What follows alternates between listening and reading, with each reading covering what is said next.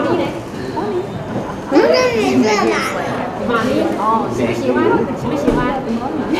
喜欢哦。然后呢，他那个是我。囡仔所叫的爸爸妈妈，就是这对来。自美国的翁仔某汤马士和米雪。为着要收养这三个台湾囡仔，因是用了真侪时间和心血。他们经历了很多很多的文件的来。回，然后还有那个要盖手印，然后还有医生的证明，然后就是为了要收养这些孩子。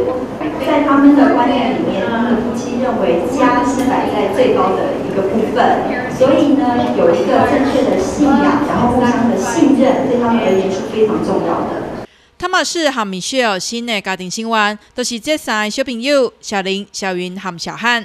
因的亲生爸爸已经过身，妈妈嘛无能力好照顾，只好被广府协助安置。好在有美国世界爸母协会的帮忙，为三兄妹啊找到温暖的家。他跟你们保证，他对他这三个孩子会像对自己的孩子一样。他们的孩子也很兴奋，可以变成一个大哥哥、一个大姐姐。他们会尽力的让这三个孩子知道，他们是从台湾来的，台湾是他们的家。因为原生家庭无够健全，被公部门安置的个案内面，兄弟姊妹会当做会出用的案例并不多。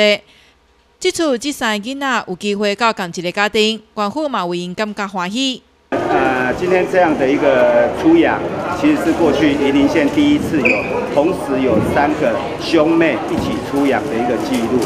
啊，因为呃，一般家庭他可能有收养的一个意愿，可是要同时请他啊一次收收养三个，这是蛮高难度的。看到囡仔和养父母的相处，就知影又阁有一个美满幸福的家庭出现了。养父母的爱，一定会当互三兄妹仔快乐成长，走向美好的未来。记者林一玲采访报道。